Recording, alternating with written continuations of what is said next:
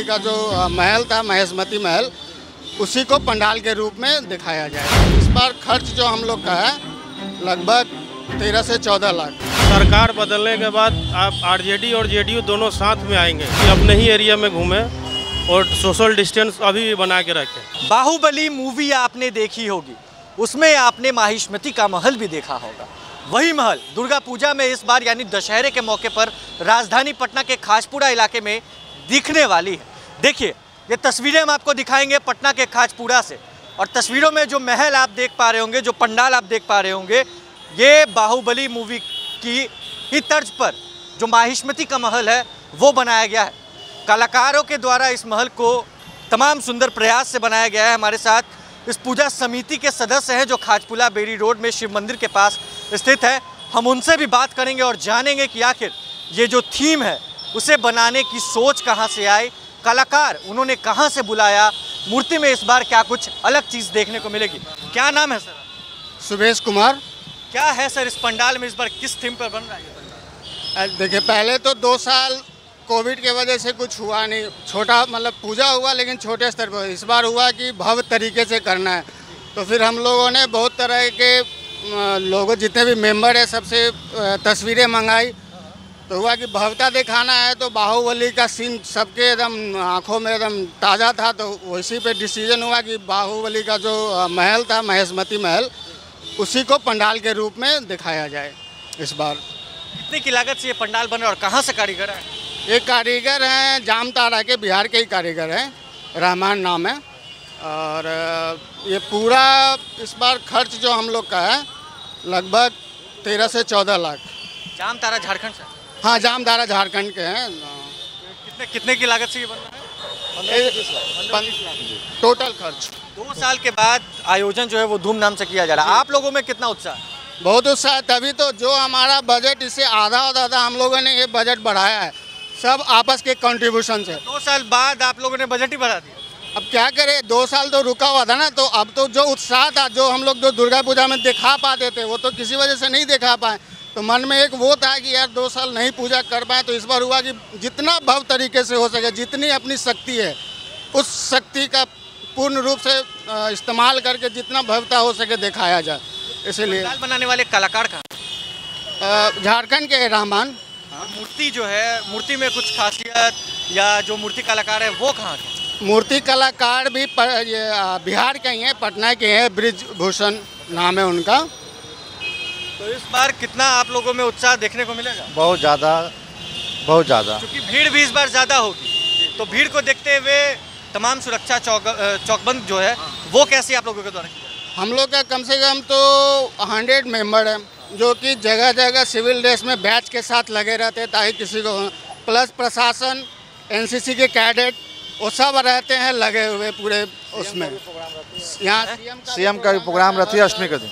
आज आएँगे सीएम? आज नहीं वो अष्टमी को आते हैं। आने का है? हाँ वो पक्का आते ही आते हैं हर साल आते हैं। क्या कौन आएँगे? तेजस्वी यादव मुख्यमंत्री वो भी आ रहे हैं दोनों। दोनों आएँगे? हाँ हाँ एकदम एक तो नई सरकार बन गई तो नई सरकार में दशहरा में बाहुबली पंडाल में तेजस्वी यादव और नीतीश कुमार दोनों आएँगे? हाँ दोनों ही आते हैं। दोनों आएँगे? बिल्कुल। आप लोगों में कितना उत्साह है कितने खुश हैं? हम लोग तो हाँ, हाँ, हम लोग पूरा हंड्रेड हाँ हम लोगों का उत्साह यहाँ की जो हाइट है ना इसका शिखर आपको यहाँ से नज़र नहीं होगा आएगा।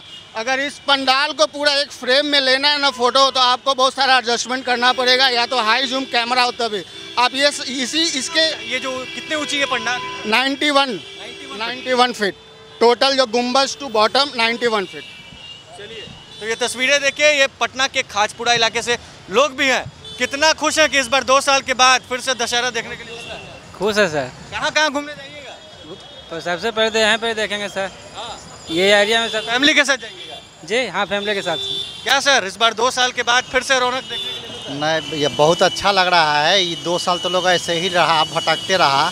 लेकिन इस बार का माहौल देख करके लग रहा है कि अच्छे ढंग से दशहरा लोग मनाएगा। बाहुबली का पंडाल बना है देख रहे हैं ना? हाँ पंडाल देख करके यही तो भव्य देख करके लग रहा है आज की से बनेगा। अभी तो लोग पूरा नहीं आया है लेकिन अंदर से दिखाई पड़ रहा है कि अब की पंडाल बन रहा है। बहुत तो कि हम उनसे भी बात करेंगे।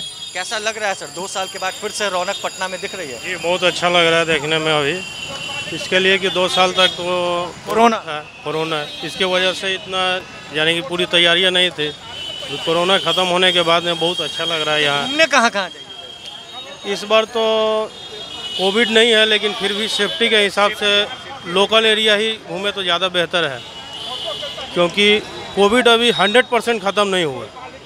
इसके लिए और भी लोगों से कहना चाहते हैं कि अपने ही एरिया में घूमें और सोशल डिस्टेंस अभी भी बना के रखें और क्राउड एरिया में मास्क का कंटिन्यू यूज़ करें।